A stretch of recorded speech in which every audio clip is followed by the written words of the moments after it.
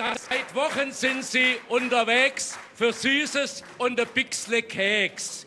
Sie kommen gleich zur Tür herein. Willkommen, die zwei Ster Sternsinger hier in Gundelsheim.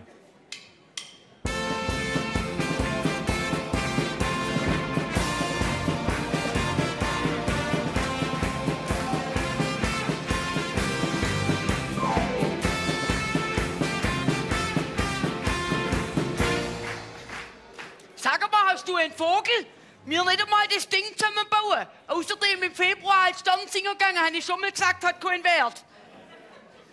Wenn die Weisung erhalten, die Botschaft ins Land zum Tragen. Also, tu den Stern auf.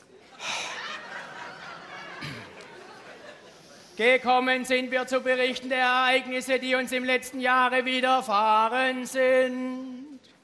Ihr Schwaben, Reichschmeckte, Karnevalisten und auch alle anderen Fasnitzpilger, wir bitten euch, erhöret uns. Wir, die Schelle schellt gar nicht. Die soll doch Bimbam machen. Ja? Dann macht ihr die Schelle. Immer wenn wir das hochheben, dann singet ihr Bim Bam aber auch. Ja, jetzt probieren wir das. Achtung. Hui, so eine gute Schelle haben wir noch nie gehabt.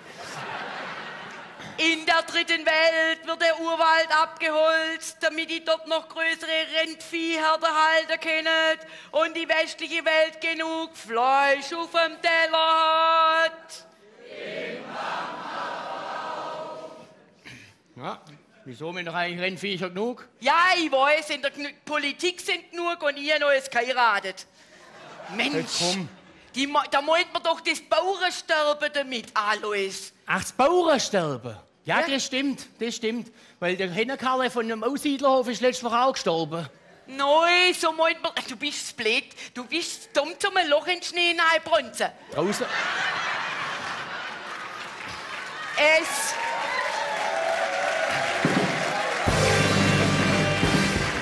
Draußen hat's geklappt. Ja, ja. Es gibt bald noch bloß noch große Maschbetriebe und dort wird das Vieh mit Genfutter und Antibiotika hergemästet. Ein 100 Gramm Schnitzel ist mehr Antibiotika darin wie in eurem Arzneimittelschächtele. Ja, das ist ja geschickt. Da kriegst du vom Arzt in Zukunft ein Rezept fürs Wiener Schnitzel im Ochsen. Quatsch! Du sollst kein Fleisch mehr essen, weil die Menschheit vergiftet sich selber. Ja, dann fangst du am besten mit dir an. So wie du mich heute Morgen behandelt hast, da brauchst du bloß Else mal auf die Zunge beißen. Also, was man heutzutage nicht alles für Krankheiten durch das Essen kriegen kann, da muss schon beim Einkaufen aufpassen und Obacht geben auf Gluten, Fungizide, Pestizide, genmanipuliert Histamin, Fructose, Laktose, alles eine Katastrophe. Bimba! Gell, Schätzli, und wegen dem essen wir ja Bio. Und bloß noch vegetarisch. Also, ich esse Fleisch, weil mir den einfach die kleine Tofule leid. So ein saudummes Geschwätz. Tofule, den ihm leid. Könnt ihr sagen, ab morgen hab ich mir sogar überlegt, den mir vegan essen. Sprossen, Algen, Dinkelbällchen, Hirsebreile. Sag mal, sag mal, was machst denn du da? Nix, nix. Weißt du, wie der Tofu am besten schmeckt? Musst du in der Pfanne ein bisschen Olivenöl rein und ein bisschen Thymian und dann heiß anbraten. Und wenn er gerade so eine kleine Kruste kriegt, dann musst du ganz schnell mit einer Schweinelende austauschen.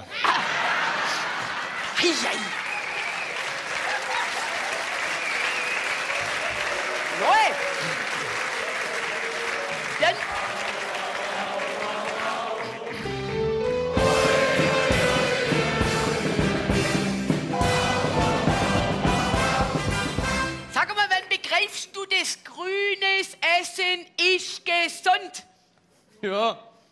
Könnt ihr euch sagen, mein Essen hebt der Schwanz und scheißt auf dein Essen. Sag mal. Sag mal, du hast doch da etwas. Ja, ich glaube ich nicht. Beiche. Die werden konfisziert. Du kannst ab morgen, die kriegst du bloß noch gelbe Riemen, die werden weggenommen, dass das klar ist. Spinnst du? Neu? Die Menschheit hat sich doch nicht an die Spitze der Nahrungskette gekämpft, dass wir den Viecher alles wegfressen. Ist doch mir Wurst. Das Auf. ist gesund. Wir sind ja schon viel weiter. Du mal den Stern auf. Die Bundesrepublik Deutschland feierte im Herbst den 25. Jahrestag des Mauerfalls. Das ist schade. Weil die Mauer, die hat schon auch etwas Gutes gehabt. Wieso? Ah, wir werden doch vom Westen, wir, wir im Westen werden doch unterwandert. Guck mal, Bundespräsident aus dem Osten. Entpfaff. Bundeskanzlerin aus dem Osten. Physikerin. Und dann nehmen sie uns im Ausland an oder Papst. Ja, aber der Bundestrainer Yogi Himmer, Weltmeistertrainer. Ja, super. Ein Badener. Ja, gut.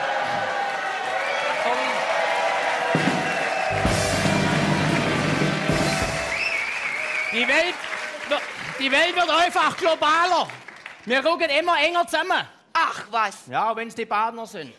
Melina, meinst du, es mischt sich alles? Mischt sich alles. Na, hab ich eine super Idee. Ja, weißt ich? Dann gespannt. schlafen wir zwei heute Abend mal Rücken an Rücken. Und von vorne lade ich mir der Thomas Strobel ein. Das kannst du machen, hast du noch einen Verlierer im Bett. Aber spinnst du? Mal, bist du noch wach?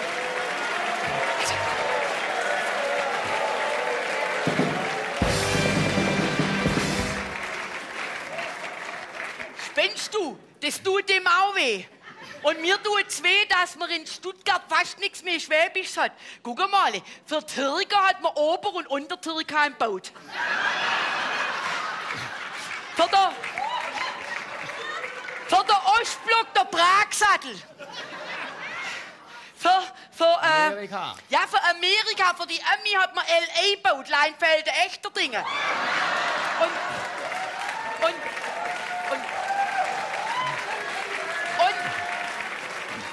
Aus.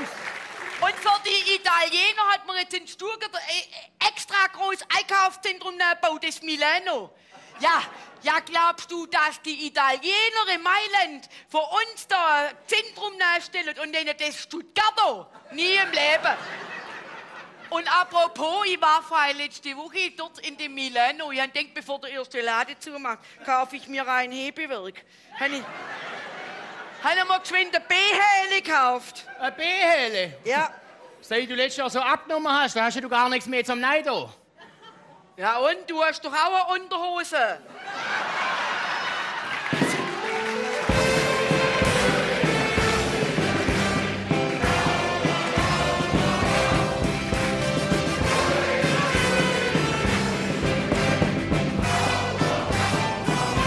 Auf, du der Stern auf.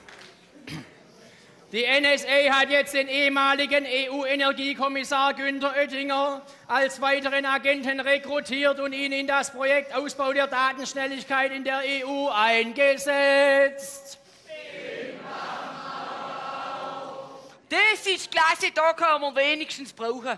Weil wenn einer so schnell sch schwätzt, wie die IT-Branche, Nein, wie die IT, da, wie die, uh, wie heißt es jetzt? Wenn einer so schnell schwätzen kann, wie die Daten in der IT-Branche fließen. Ja, hättest doch Ist doch den nicht Satz, so schwer. Hättest doch den Satz gleich gesagt, brauchst du doch mir nicht schreiben. Sagen doch du gleich. Menschenskind. Wenn du besser kriegst wie ich.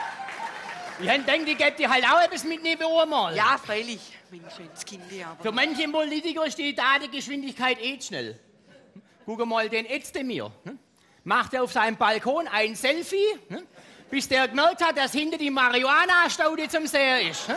War das Ding schon im Netz. Der Özdemir, das ist doch der, wo ein Schwab sein will. Das ist ein Schwab, der ist aus Urach geboren. Alois, ich sag dir was. Wenn eine Katz im Fischladen Junge kriegt, na sind das noch lang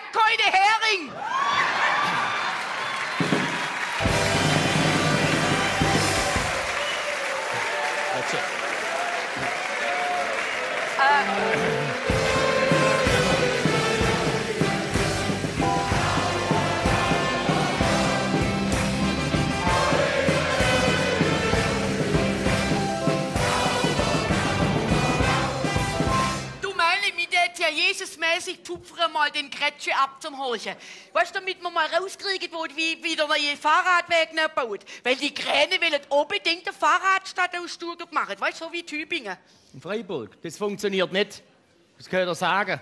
Weil bei in Stuttgart, da geht überall der Buckel auf. Ja. Da brauchst du noch ein E-Bike und dann musst du gleich, dann musst du gleich eine Tankstelle oben äh, bauen. Ja, und? Das Und auch wenn du einkaufen gehst, wie bringst du noch die Guggenheim von Milano? Ja, ich guck doch bloß.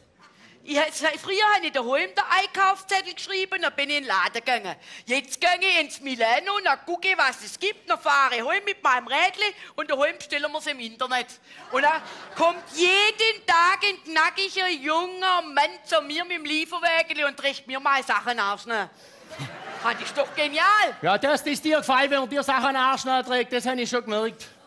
Aber noch ist wenigstens ist schon gespart für unser Auto. Wir brauchen keinen Sprit, unser Auto verbraucht kein Klima. Ne? Und du hast gleich ein bisschen Bewegung Ja, gemacht. das kennst du auch. Statt, Treppe, äh, statt Aufzug fahren, kennst du nämlich Treppenlauf. Aufzug, war ich mit dem letzte Woche einkaufen. Dann stehen wir in dem Aufzug drinnen, kann ich sagen, dann im vierten Stock haltet das Ding an, steigt eine Dame von Welt ein. Riecht hervorragend. Dann habe ich gesagt, darf ich Sie mal fragen, nach was schmeckt sie denn? Dann sagt sie, ja, nur Schlussparfümerie. Chanel Nummer 5, 50 Milliliter, 278 Euro. Der, der 40 Glimmer nie zahlen. Im fünften Stock kommt schon wieder eine rein, riecht auch nicht schlecht. Dann ich gesagt, na was schmeckt sie? Dann sagt sie, ja, no, D-Mark, Lacoste, 50 Milliliter, 29,90. Im achten Stock steigen wir aus, lässt mein Alois einfahren. Und im Ausgang sagt er, Aldi, Brokkoli, 500 Gramm, 1,99.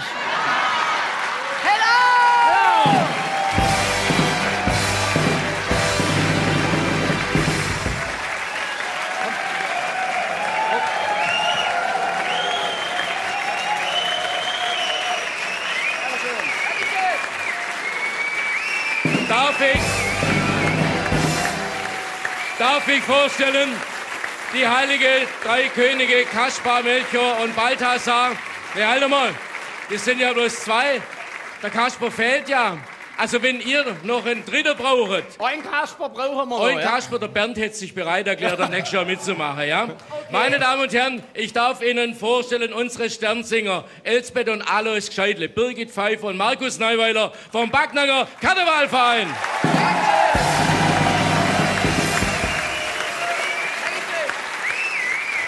Lieber Markus, das ist für dich, das hast du dir reglich verdient. Zum schon groß Glas, gell? Ja. Mir wundert es, dass noch kein Protest kommt von ganz rechts Oh, das ist außen. ein Schnaps. Das ist ein Schnaps gewesen, ja. Und das ist jetzt ein Weizenbier. Traust du das zu, Birgit, ja? Ich bin wieder gesund. Zum Wohl!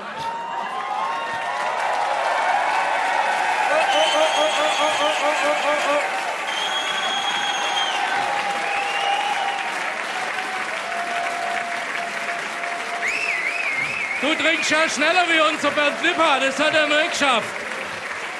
Auf die Sternsinger ein Dreifach donnerndes Gundelsheim. Hello! Gundelsheim! Hello! Gundelsheim! Hello! Und Ausmarsch. Ein herzliches Dankeschön.